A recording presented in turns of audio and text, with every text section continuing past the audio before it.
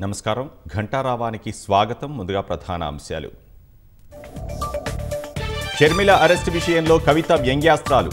భాజపా వదిలిన బాడమేనని పరోక్ష విమర్శ.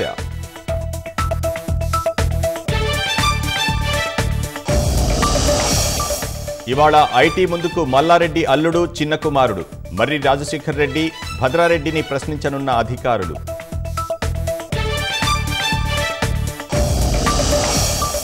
రాష్ట్రంలో యాభై మూడు శాతం తగ్గిన ప్రసూతి మరణాలు. జాతీయ నమూనా సర్వే నివేదికలో మూడో స్థానం కైవసం.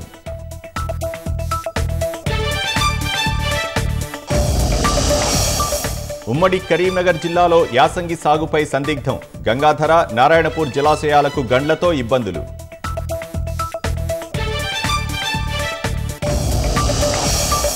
యూపీలోని ఫర్నిచర్ దుకాణంలో భారీ అగ్ని ప్రమాదం. ఒకే కుటుంబానికి చెందిన ఆరుగురు మృతి.